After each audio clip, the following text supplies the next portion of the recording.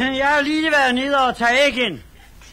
Jeg har købt et lille sted ude på landet med øh, landbrug. Men øh, det er nu ikke det. Det har været, før det blev så dårligt, som det blev rigtig skidt. Ja, russisk landbrug, det er sagen. Det er sagen. Men russerne høster jo også fire gange om året. En gang i Rusland, og de tre andre gange i Polen, Ungarn og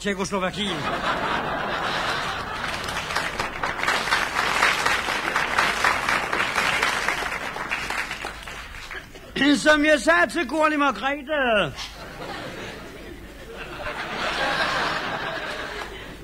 Da jeg i sin tid var henne og stemmer os ind i EF.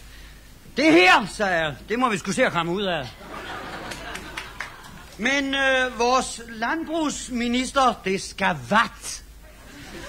Han tør jo ikke liste skovlen ind under fællesmarkedet fyrene nede i Bruxelles. Han er fanden af mig så bange som en nudist, der forsøger at kravle lidt over et pigtrådshegn.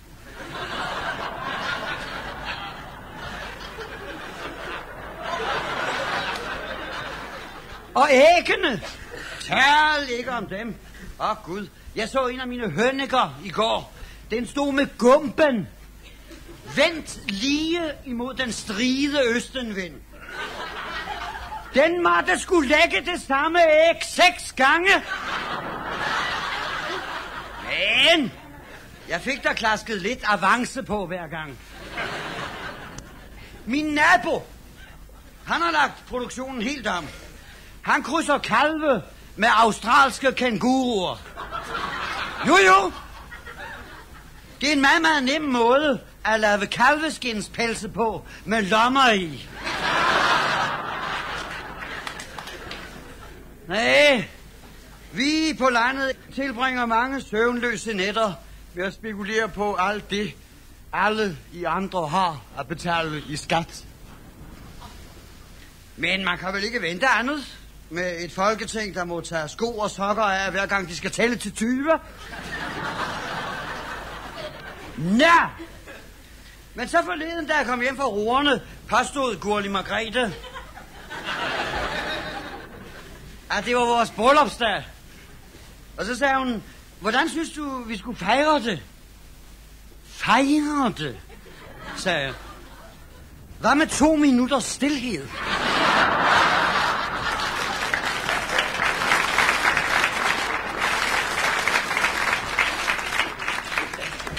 Der blev hun sgu sur. Men det endte selvfølgelig med, at vi tog ind til byen og spiste fint. Byen for øvrigt. Det minder mig om landsbyen lige ved siden af. Der går jeg øh, tur med vores hund. Og vores hund hedder Christian.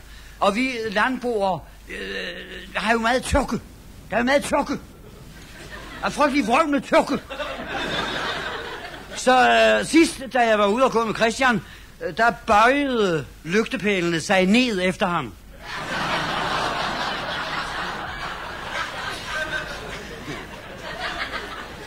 Ja, men øh, det var vores bryllupsdag. Vi øh, tog altså til byen og spiste fint. Menukortet, ha, det var så stort, at jeg først troede, at tjeneren kom med min rødmalede ladeport. Hvad med kaviar naturel, foreslog han. Hvad er det, sagde jeg. Det er kaspiske støræg, sagde han. Nå, og så tager vi to af dem.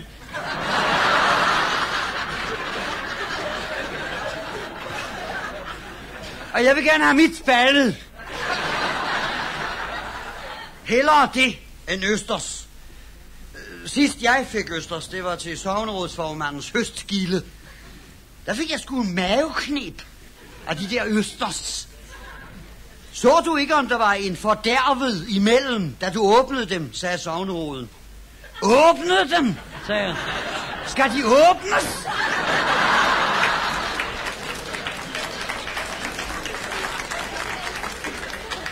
Men øh, til høstgildet havde jeg også fået et par glas. Det opdagede Gurli Margrethe, da hun så, at jeg sad og knækkede vindruer med nødeknækkeren. Nå, men tilbage til vores bryllupsdag. Da vi skulle bestemme os til hovedretten, så ville Gurli Margrethe have moseand. Hvorfor ikke almindelig and, sagde jeg. Så kan du jo selv mose den. Jeg personligt ville godt være fri for at spise med kniv. Så jeg tog en ske an. Men øh, da den kom, så den noget lille ud af sin alder.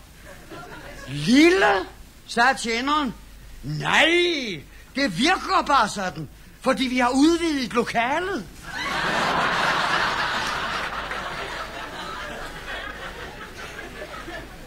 Til dessert ville Gurli Margrethe have pandekager, crepe Suzette. Ja, ja, nej, ho, ho, ho, ho, sagde jeg. Lad os nu lige først se, hvad de forlanger i udbetaling.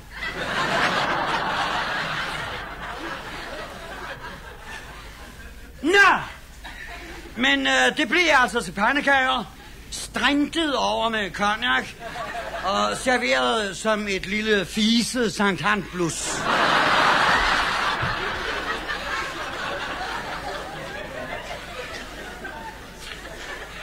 Har, har, har, har vi det ikke skønt? sagde Gurli Margrethe. Jo, sagde jeg, det har vi. Men vi har fandme heller ikke set regningen endnu. Nej, jeg ved ikke, hvordan det skal gå med dansk landbrug. Den der vi slet ikke har noget at være bekymret for. Selv mine grise kommer til at se trist ud, hver gang de hører en høne kavle. De kan ikke lade være med at tænke på æg og bacon.